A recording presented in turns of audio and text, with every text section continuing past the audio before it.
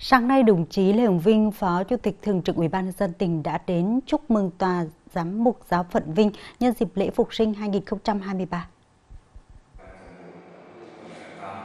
Phó Chủ tịch Thường trực Ủy ban dân tỉnh đã gửi lời chúc tốt đẹp tới giám mục An Phòng Nguyễn Hữu Long và các linh mục, giáo sĩ, tu sĩ, đồng bào công giáo trong giáo phận luôn mạnh khỏe, đón mùa lễ phục sinh an lành và nhận được nhiều hồng ân của Thiên Chúa. Thông tin khái quát về tình hình kinh tế xã hội tỉnh trong quý 1 năm 2023,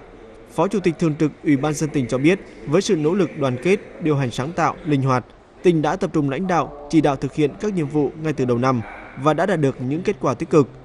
Cùng với đó, tỉnh cũng tập trung triển khai thực hiện các công trình, dự án trọng điểm, phong trào xây dựng nông thôn mới được đẩy mạnh. Phó Chủ tịch Thường trực Ủy ban dân tỉnh ghi nhận cảm ơn sự đóng góp quan trọng của Tòa Giám mục Giáo phận Vinh và cộng đồng giáo dân trên địa bàn tỉnh khi đã đóng góp với các địa phương để cùng đạt được các thành tích chung. Giám mục An Phong Nguyễn Hữu Long đã trân trọng cảm ơn tình cảm của các đồng chí lãnh đạo tỉnh dành cho Tòa Giám mục Giáo phận Vinh trong dịp lễ Phục sinh năm 2023.